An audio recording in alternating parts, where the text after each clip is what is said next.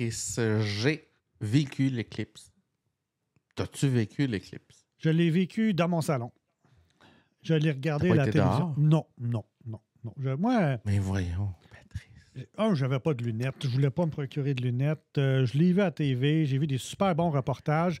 Et j'ai commencé à décrocher quand, là, les gens commençaient à dire qu'il y avait la larme à l'œil et il était pas braillé. Donc, euh, là, ça allait un petit peu trop loin. Puis quand deux jours après, tu entends les mêmes commentaires de « Ah, j'étais en extase et je braillais. » Là, c'est comme « Tabarouette, là. » Écoute, Patrice, tu vas probablement pas aimer ce que je vais te raconter. Mais, mais vas-y, c'est correct. Je- c'est juste, c'est pas pour moi. C'est juste. ça. Écoute, première des choses, on s'est déplacé dans les cantons de l'Est, dans un chalet qu'on a loué pour 340 pièces. Pourquoi ça marche pas?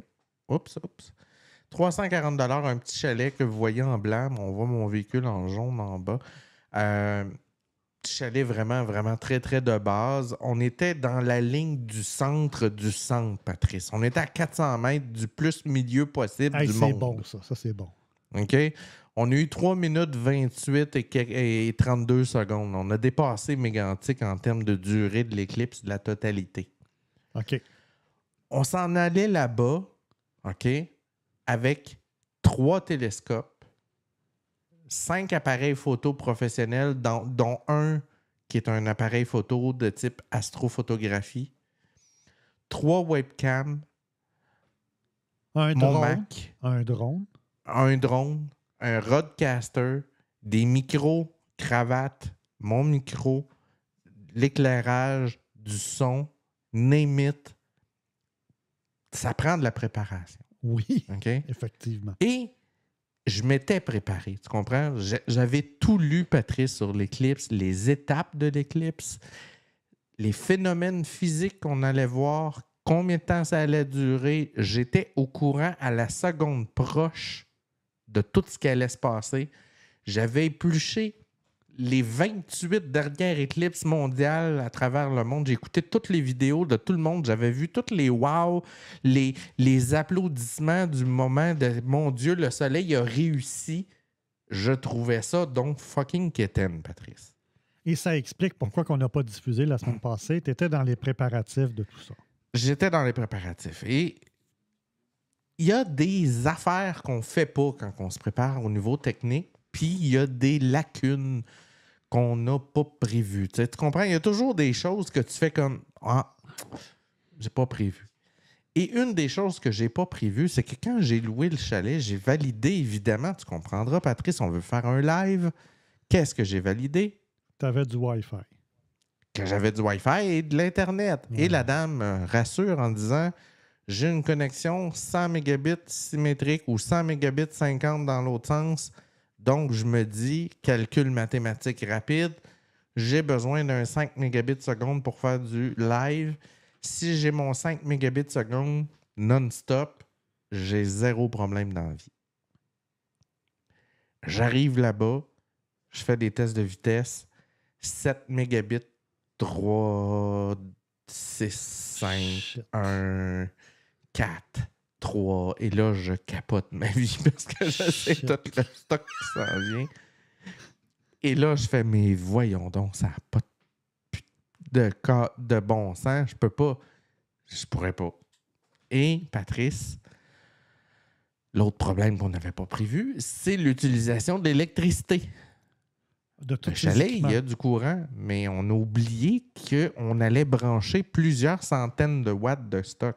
Oh. Donc, on a fallu qu'on on répartisse la charge sur, plusieurs circuits. prises dans la maison pour avoir des circuits différents. Et là, écoute, je t'épargne le Hey, look du bon. propriétaire. C'est bon. Le, le propriétaire qui nous regarde nous installer, qui a fini plus de voir des boîtes de fil.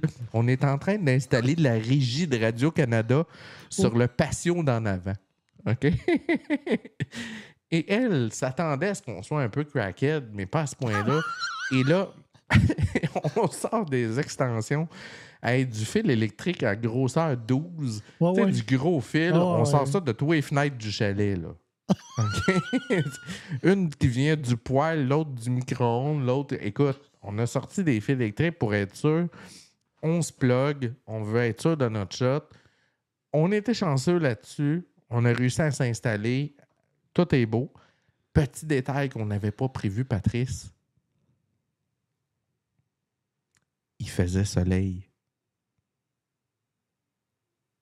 Et?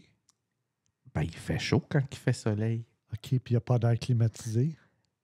Les là- appareils dehors au soleil, ça n'aime pas ça, l'électronique, à le soleil, Patrice. Fait que ça clipait des fois?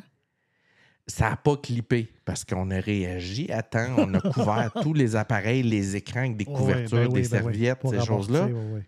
Mais écoute, 20 minutes après avoir été installé, je touche mon Mac puis j'aurais pu faire cuire un œuf dessus. là. Hi, ouais, ouais, ouais. Fait que là, tu fais comme OK.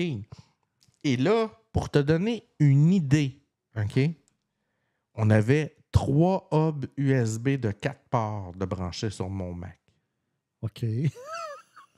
OK. Trois. on avait euh, de mémoire trois ou quatre cartes d'acquisition HDMI branchées sur le Mac. Donc, trois sources différentes plus une quatrième. Ouais. Mes deux webcams, mes deux entrées de Rodecaster audio, deux micros, les souris, les claviers, le Stream Deck, euh, Tout ça sur un Mac mini de base, là. un Mac Mini M1. OK? Et ça a, tenu, un pari. ça a tenu le coup. ça a tenu le coup. Mais, mais, quand j'ai commencé à jouer avec les sources dans OBS, Oh boy, ouais. des fois, j'avais la pointe de tarte, là, tu sais. Oh ouais. Et là, je, changeais, je faisais juste changer le nom de la scène, puis la pointe de tarte, elle partait en tournant. T'sais, Écoute, j'avais des sueurs à chaque Ouais, fois. ouais, Puis, tu sais, on s'entend, OBS, c'est légendaire, Patrice, hein? Ouais. Tu sais comment euh, tu lui demandes un peu trop, puis il reboot. Fait que là, c'était en plein milieu de ton live. Et fait que là, on- mais ça a tenu, Patrice. Ça un tenu. Mac Mini M1 a géré une régie avec quatre entrées vidéo live sur des clés d'acquisition Ouais.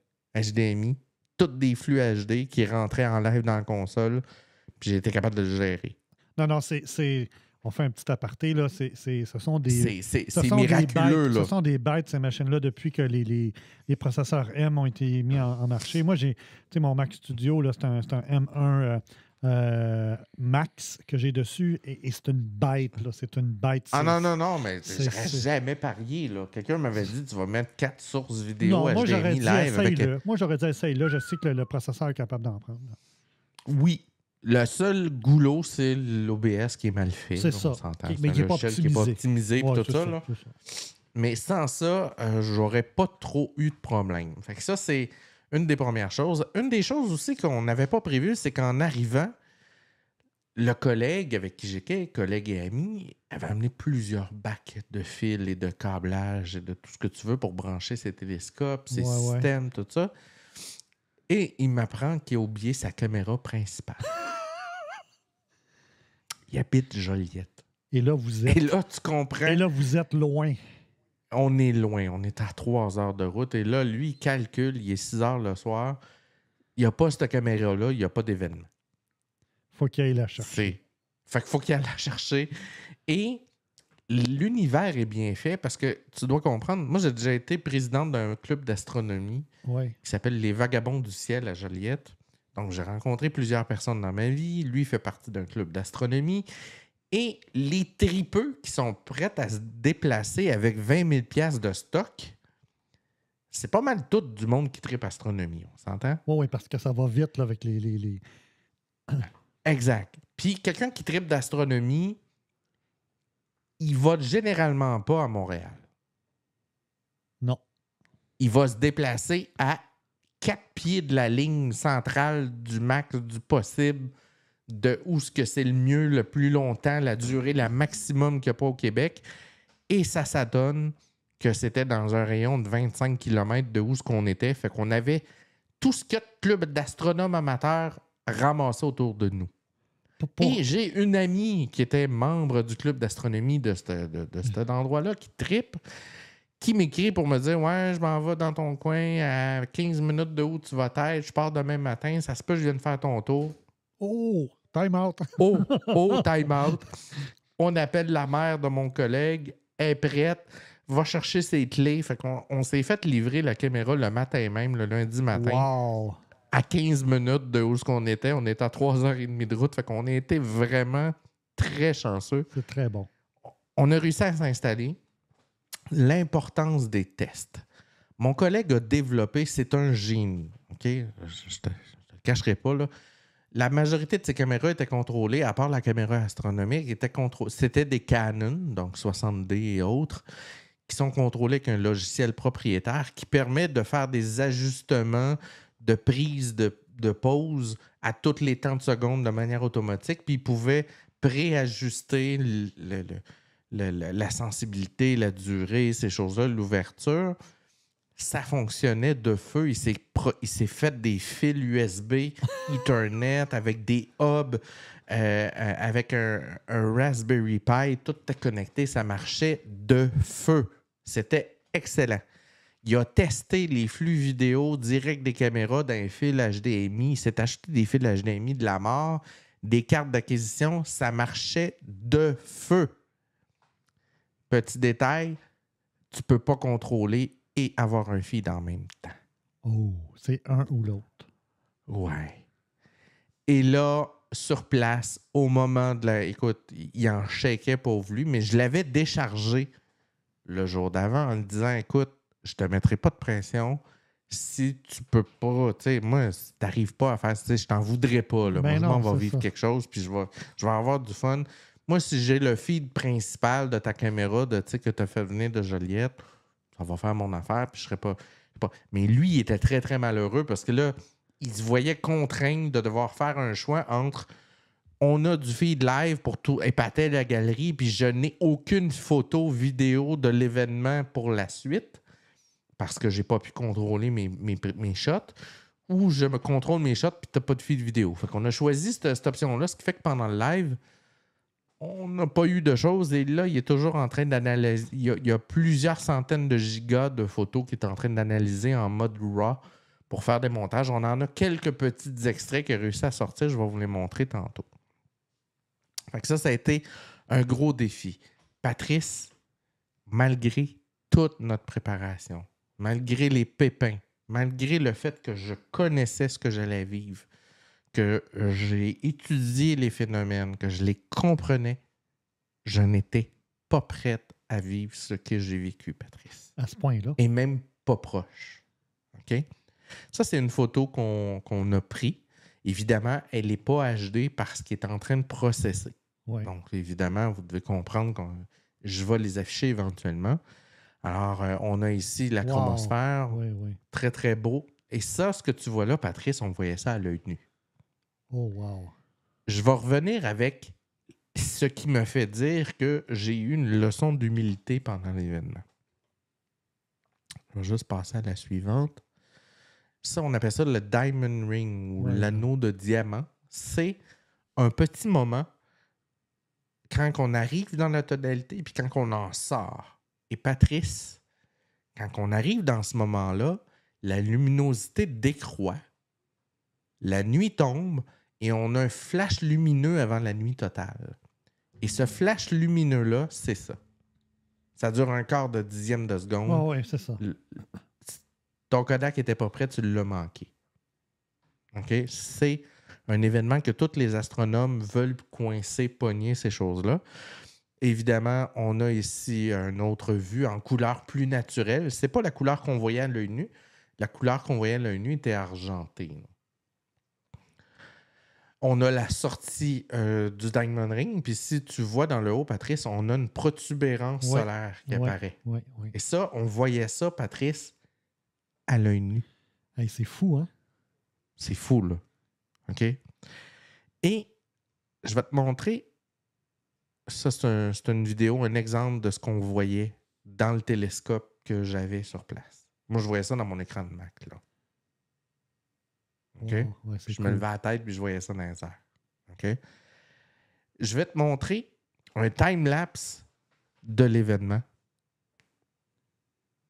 Regarde bien ça. Tu en as vu sûrement. Je vais attirer ton attention sur un petit détail. Regarde ce que tu viens de voir. tu as vu l'ombre arriver.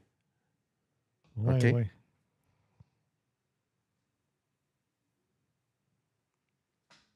Ce moment-là, là, où tu vois l'ombre arriver, là, où la luminosité, la luminosité baisse, ça dure 4 secondes. Ouais, ouais, ouais. Et là, il fait plus froid. Je n'étais pas préparé à ça. OK? Je ne m'attendais pas à ça.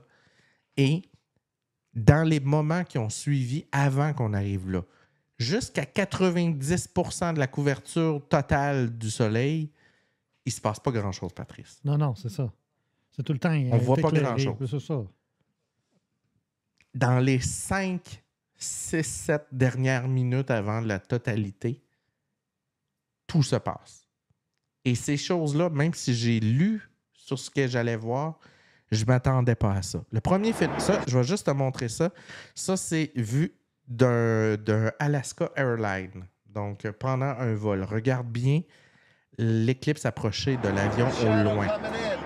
Oh yeah, there it is. There's the T'es en plein centre de l'image. Wow, look at that. Here it comes. Oh my God, look at it.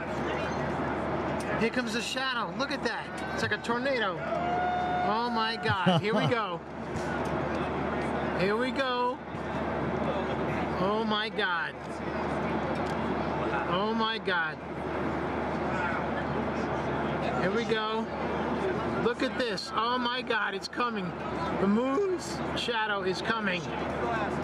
It is coming. Oh my God, here it comes. Look at this. I've never seen it like this ever. Only in a plane. No flashes. Oh my God, here we go. Look at it. Oh my God. Whoa. Look at that. Oh my God. Here we go. Oh my God, it's coming right over us like a storm. Look at this. Oh my God, we're getting close. Getting close. No filter. Oh my God, Corona, there it is. J'écoute ça, j'ai des frissons, Patrice. diamond ring. Look at that. Corona, totality. Totality. Oh my God. Tu peux pas comprendre. OK, Patrice? tu peux pas.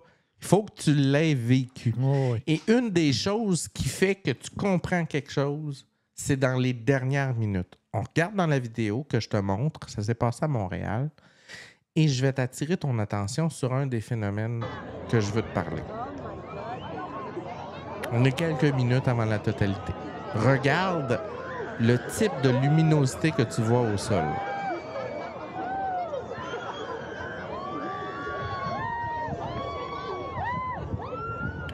On a encore une luminosité assez normale.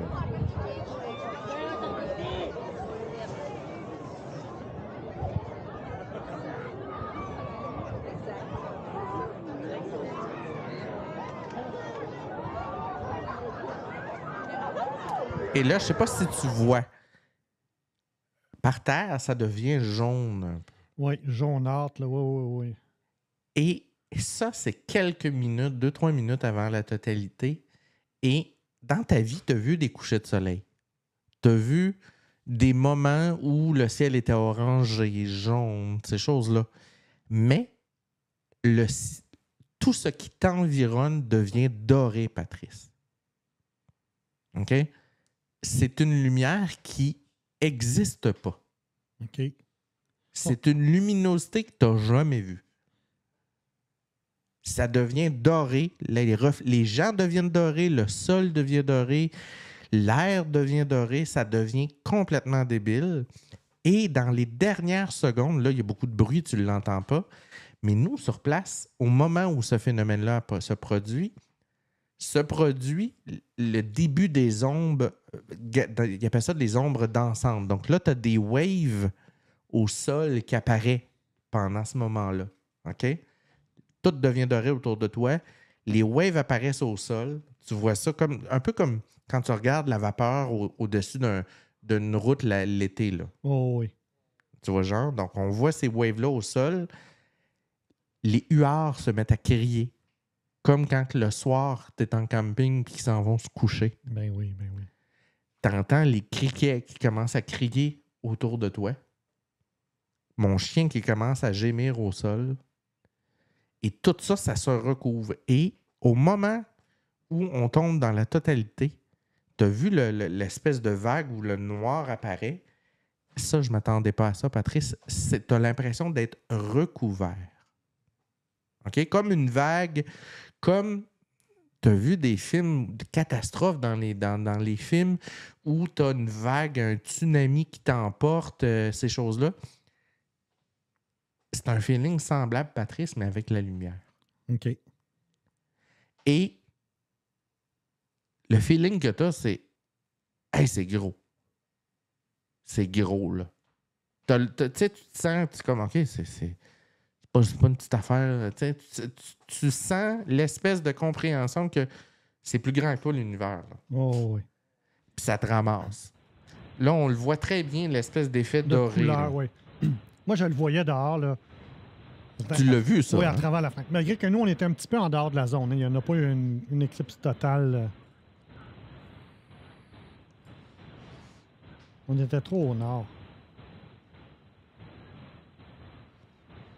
Quelques secondes avant la, la totalité, les couleurs s'affadissent. Ça aussi, c'est une affaire que tu- quand la nuit tombe le soir, tu ne vois pas les couleurs partir aussi vite. Oh, oui. Et dans la vie, ça se reproduit très rapidement. Puis Tu comme, mon Dieu, je m'attendais pas à ça.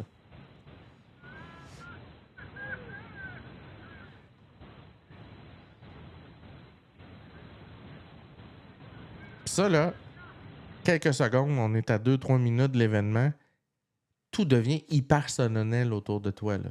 Tout le monde en retient son souffle. OK, ça, ça en vient. C'est quelque chose.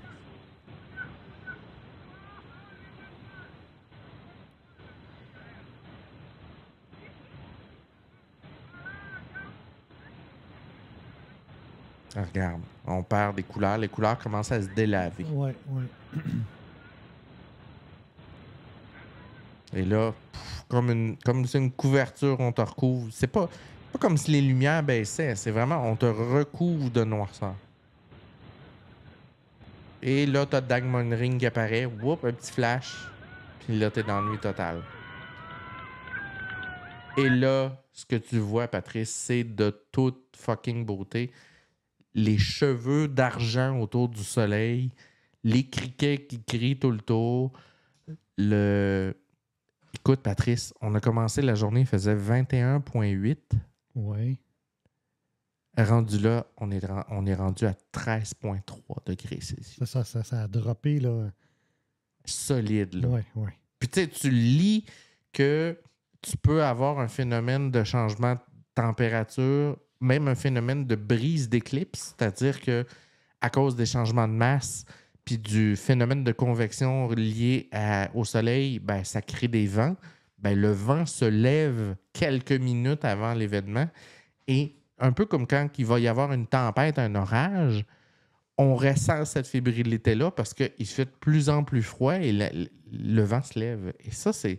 Je suis pas sûr qu'à Montréal, ils ont pu ressentir toutes ces choses-là parce que ben, quand, quand il y a trop de gens, qu'il y a trop de bâtiments autour, c'est des phénomènes que tu vois pas ou que tu ressens pas ou que tu peux peut-être pas entièrement. Moi, je on l'a ressenti, là, la baisse de température. Puis, oh oui. À Montréal, ils l'ont confirmé, ils l'ont senti de façon euh, significative. Là. Puis toi, t'es sorti dehors pour le constater ou tu l'as juste vu? Ben, tu on le ou- sentait par le courant d'air. Euh, Ah oui, ah oh oui. Il y a eu comme des courants d'air plus froids, puis euh, on voyait vraiment que la température avait baissé. Là. Ça, c'est le phénomène des ombres. Ça, ça apparaît autour de 90, 80, 85% On a ce phénomène-là et tous les ombres se mettent à se couvrir de petits euh, croissants. Euh, euh, C'était ressenti en Abitibi malgré qu'on ne voyait rien.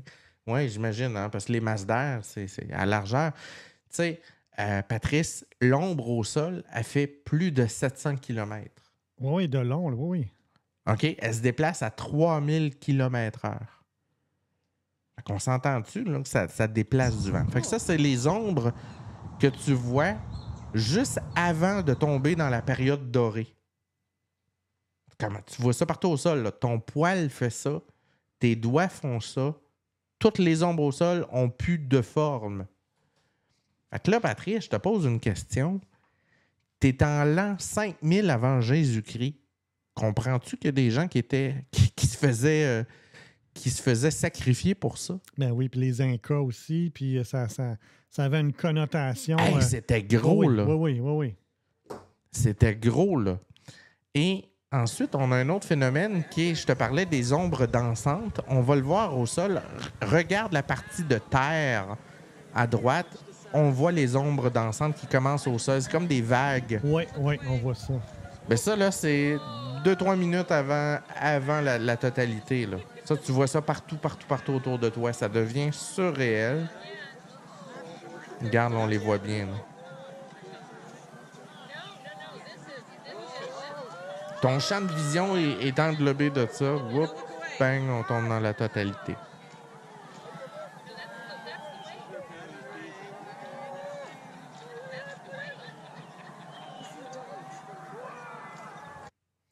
Évidemment, photo de l'espace de la station internationale. Oui. C'est juste au-dessus du Québec en plus. Là. Ce qu'on voit, c'est Ouais. euh, la région de Québec euh, qui est en dessous. Euh, on voit qu'ils n'ont pas goûté à la totalité pour eux. Euh, on voit ça de l'espace. Eux autres, ils l'ont vu en direct et de l'espace, cette gang de chanceux. Ben oui. Et, et j'ai tellement eu d'émotions, Patrice. Je suis quelqu'un de terre à terre, je suis quelqu'un de cérébral, je suis quelqu'un de. que au moment de la totalité, j'étais tellement submergé parce que je venais de vivre dans les deux, trois dernières minutes, puis la totalité, puis de voir ça live devant moi. Puis il faut pas t'oublier, là, avec tout le gear qu'on avait, à peu près tout le quartier autour de nous s'était ramassé autour de nous autres. Ben oui, c'est sûr, là, vous étiez les, les experts du. fait que là, on faisait un office de présentateur météo. Et quand c'est arrivé la totalité, j'étais tellement submergé par l'émotion, les yeux pleins d'eau, le wow, qu'est-ce qui est en train de se passer, que j'ai mis fin au live, Patrice. Ah oui. J'ai accroché le fucking bouton mettre fin au live. Mais qu'est-ce que je fais? Et là, panique générale, je mets fin au live. Je veux revenir en ligne. Mais Facebook, tu peux pas. Ça change la clé d'encryption. Ben oui, ben oui. Là, faut-il la rentrer dans OBS? J'ai perdu une minute à gosser pour revenir en live. Ah, la technologie. Hein? La technologie. Fait malgré toute notre préparation, je n'étais pas prêt complètement à 100% à vivre cette chose-là. Et la grande leçon que j'en tire, c'est vous devez absolument faire vos préparations comme dans la vraie vie. C'est-à-dire, pas tester les choses en vase clos. C'est genre, j'ai besoin de 110 volts, ça va aller. Non, dans la vraie vie, tu vas avoir besoin de plusieurs circuits. tu as besoin de tester tout comme dans la vraie vie. Et prépare-toi. Tu peux vivre une émotion. Puis cette émotion-là peut être très forte. Et le feeling que j'en ai quand je suis sorti de là, là, Patrice, c'est pareil comme quand tu. T'as-tu t'as-tu déjà vécu un accident dans ta vie? Euh, ben, des- plus des accrochages que des accidents. là. Fait que tu n'as jamais vécu le phénomène du euh, choc post-traumatique suite à- un accident? Non, non, non. OK. On dit souvent qu'après un accident, euh, 30 secondes d'accident est comme étiré, puis c'est comme si tu vivais 3 heures dans un 30 secondes. OK. Parce que ton cerveau, dans une vie de tous les jours, enregistre une image, une impression à toutes les 3-4 minutes. Mais là, tout d'un coup, c'est comme si tu te mets à enregistrer 340 images secondes Ouais, ouais, ouais. et que tu te rejoues ces images-là à 24 images secondes. Fait que tu comprends que quelques heures après, j'en ai eu pour deux jours à m'en remettre. Bon, ça, ça, Parce que- ça explique les commentaires que j'ai entendus. là. Oui. Parce qu'il se passe énormément de choses au moment où ça se produit, auxquelles tu ne pensais pas que ça allait te faire quelque chose, que tu allais vivre. Tu sais, t'as beau regarder une image, Patrice, les vagues de, de- de- d'ombre qui te passent à travers les yeux, ça a un effet visuel, un peu comme quand tu bois de l'alcool, les choses bougent. hein? Ouais, oui. Ben, ces vagues-là, t'as beau les voir à la TV, elles n'ont pas d'effet sur toi à la télé. Mais dans la vraie vie, le, le- le côté vibration autour de toi, ça a un effet sur ton champ visuel. Tout ça contribue à une ambiance que tu peux pas te préparer d'avance. Je comprends. Là, Ça, ça fait plein de Alors voilà pourquoi les gens pleuraient, Patrice. OK, ça. T'as répondu à ma question et à mon. Voilà. À mon Alors, c'était mon expérience de l'éclipse. Euh, la prochaine euh, que- qui est possible de vivre va être en 2027 dans le désert du Sahara en Égypte. OK. Donc, s'il y en a qui veulent vivre ça dans un effet euh, aux mille et une nuits, sachez que c'est possible de booker un voyage en 2027 en Égypte et d'aller vivre ça en plein milieu du désert. Vous avez des grosses, énormes chances d'avoir un ciel parfait. Ah oui, le évidemment désert- là-bas. Il n'y a pas beaucoup de nuages. ça risque d'être excellent.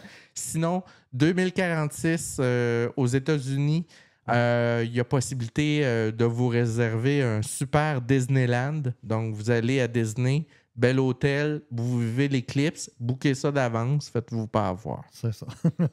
C'était tout pour moi, Patrice. C'était super, Patricia. J'ai bien, j'ai bien aimé. Euh, malheureusement, je ne t'ai pas vu en direct, mais j'ai bien apprécié toute l'histoire et les sous-histoires liées à cette, cette ouais, les affaires en dehors des ondes. C'est ça qu'on qu'on qu'on parlera pas.